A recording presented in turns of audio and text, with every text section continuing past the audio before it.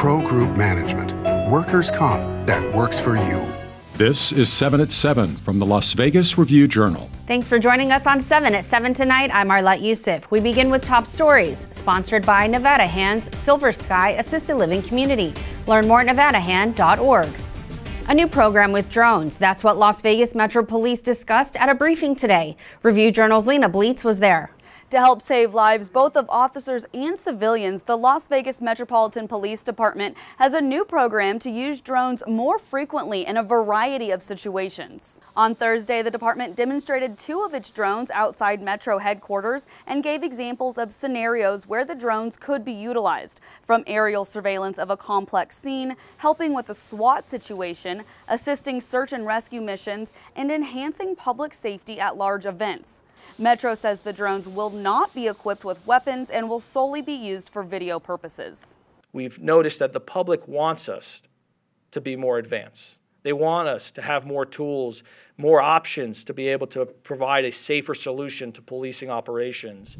Two hours Wednesday night went without 911 service, and today we know why. An official with the company that operates the fiber line says workers installing a light pole in Missouri cut into a fiber line, knocking out 911 service for emergency agencies in three states. Las Vegas Metro Police 911 Communications warned the community Wednesday night about the outage affecting emergency and non-emergency calls on social media. The post explained, quote, dial on a mobile device and we will be able to see your number and will call you back right away.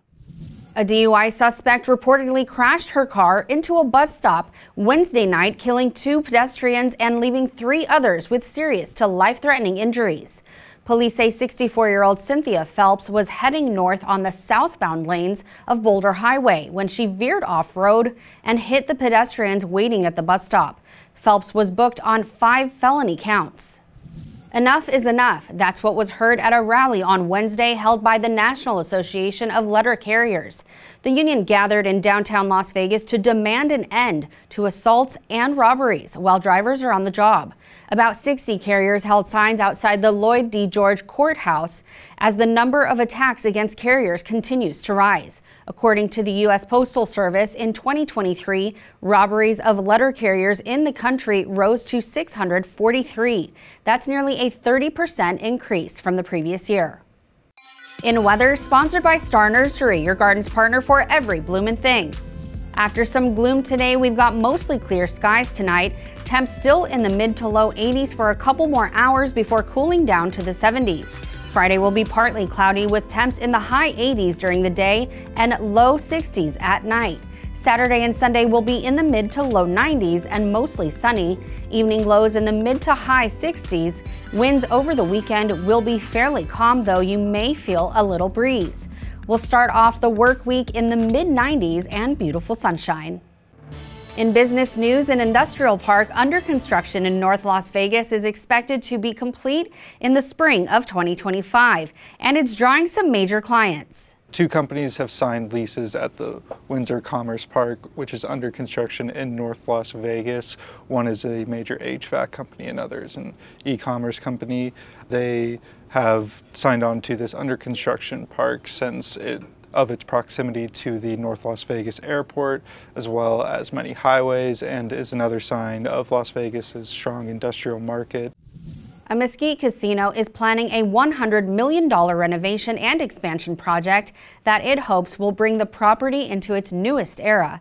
Eureka Casino Resort announced work has begun on the first phase of the revitalization. The work will extend from the exterior of the property and casino floor to hotel rooms and restaurant spaces.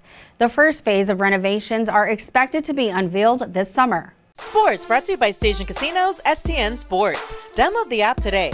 Aces forward and two time WNBA MVP A'ja Wilson made Time's list of the top 100 most influential people. Aces minority owner Tom Brady wrote an essay about A'ja in the entry, stating A'ja Wilson is not just a champion, she's a symbol of resilience, compassion, and unwavering dedication. Wilson won two championships with the Aces and one with South Carolina, where they added a statue of her to commemorate her collegiate career. She also has a charity to support children and families with dyslexia and is an advocate against bullying. In Health, sponsored by Boulder City Hospital, we're here for you when you need us. The second annual soiree took flight to raise funds for a very important cause.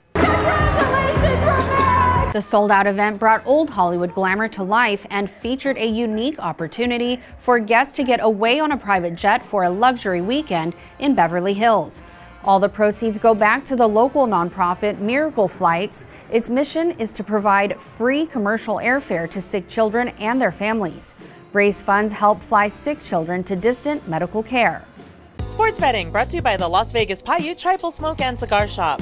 The NBA play in tournament will conclude Friday with two games. The Sacramento Kings are one and a half point road favorites at the Westgate Superbook over the New Orleans Pelicans, and the total is 212. The Miami Heat are one and a half point home favorites over the Chicago Bulls, and the total is 207. In other playoff series, the Denver Nuggets are minus 350 series favorites over the LA Lakers, and the Philadelphia 76ers and New York Knicks are each minus 110 in their series. In lifestyle, sponsored by Atomic Golf, now open next to the Strat. A popular cactus found on t shirts and souvenir shops in Las Vegas is actually not found in Las Vegas and not even grown in southern Nevada. The saguaro cactus is actually found in Phoenix. The main reason the desert plant is not found in our backyards is that the weather is too dry and too cold for them. The Sonoran Desert is the only place in the world that this plant grows. The desert extends from southern Arizona to Baja California, Mexico, and the eastern edge of California. Now for entertainment, sponsored by Arizona Charlie's has live entertainment every weekend at both locations. Go to ArizonaCharlies.com to see who's playing. Fontainebleau opened five months ago and already has one of the most compelling new restaurants in the city. Q, a plant-based Asian wood fire barbecue restaurant, is known for its cauliflower. Chef Christopher Arianes said he was most excited about bringing smoke, fire, and Asian influences to plant-based cooking.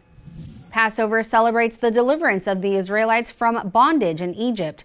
To mark the holiday, we found five places in Las Vegas offering Passover food.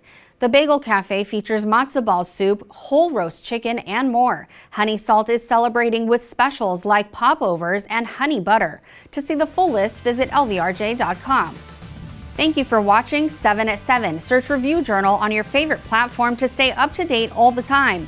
We'll see you tomorrow for more 7 at 7 in the morning and night. Review Journal Studio sponsored by Adam Kutner. Get the maximum settlement as quickly as possible. This 7 at 7 update sponsored by Pro Group Management. You're watching 7 at 7 from the Las Vegas Review Journal.